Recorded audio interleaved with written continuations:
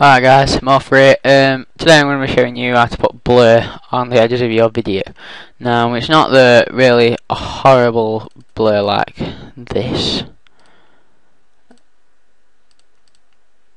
It's not that because that just looks horrible. It's too strong. Um, you could turn it down obviously, but there's just nice ways of getting the blur. Right, so first thing you want to do is right click here and click duplicate track. So you basically got two of these on the top one, you want to click the mask, click the event pan crop button, um, then the mask button.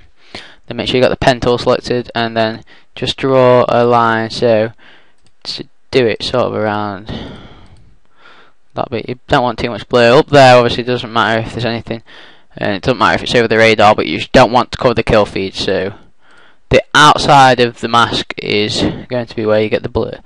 So at the moment it's masked this bit so click to mode and change to negative.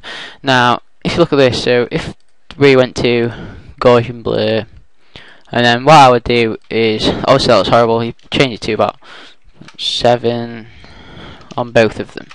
So horizontal and vertical which looks pretty nice um, but obviously the little there it's just um, no blur then go straight to blur it's not blended at all. So what you want to do is go back onto the mask and sorry, go to the mask, click mask feather type, and you could either click both or uh, it doesn't really matter, but then change it to about 20. So if you got that, it looks pretty smooth around the sides. Um, it's nice effect. And right, so that's basically it really.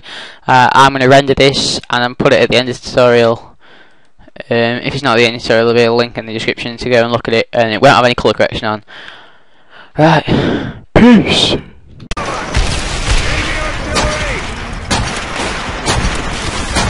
Ah!